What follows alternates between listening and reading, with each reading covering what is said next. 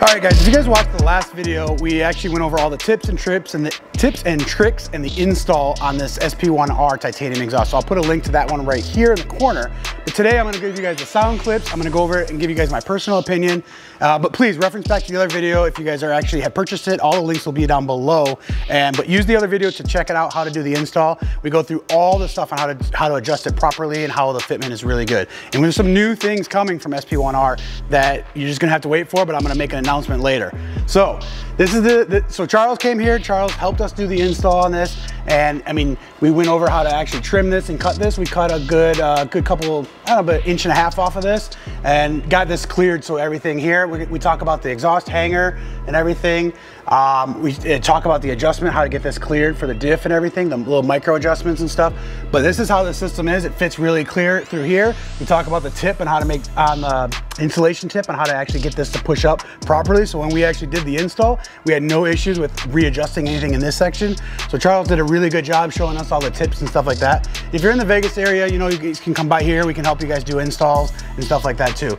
So let's get this thing out on the road. Let's get some sound clips of this. And I'm really, really excited to hear it. This is one of the systems out there that is, a, is inspired by the Mark IV Supra with a nice angled tip and its large diameter muffler and large diameter tip.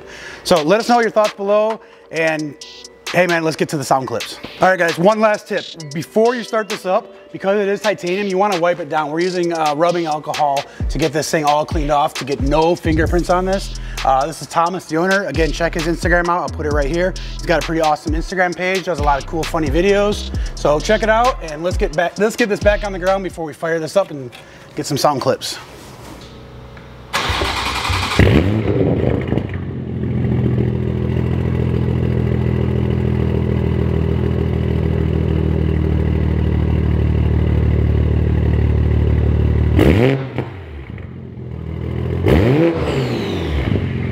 Mm-hmm.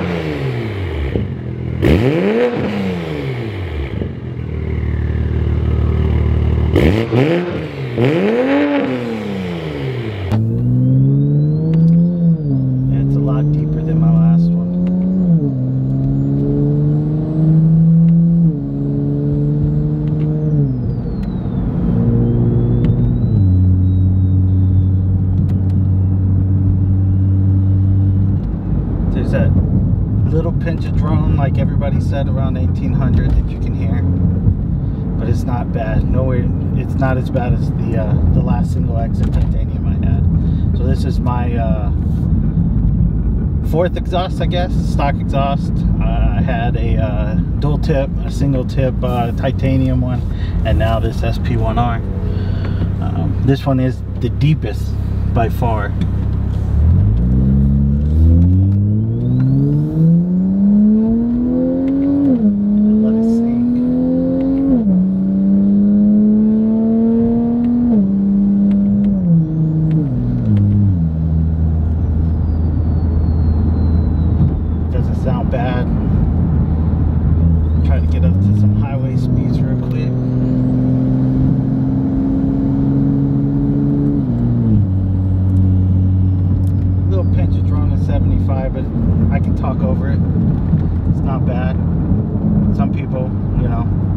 different for others but yeah not bad at all for me. I can live with it. Mine is catless free flowing. So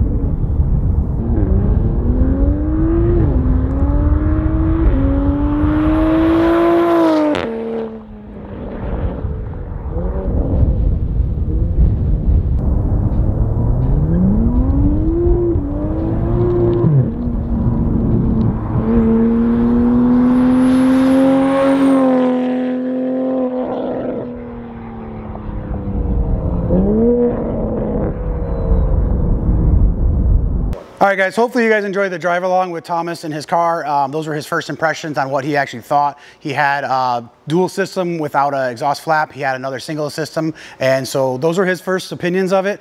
Let us know in the comments below what you guys actually thought and if you like the single. And I think I'm a fan of it. Uh, as long as you get this exhaust block off plate from Verus Engineering. So we have those. We'll put both those links down below. And thanks a lot, guys, and stay tuned to the next video.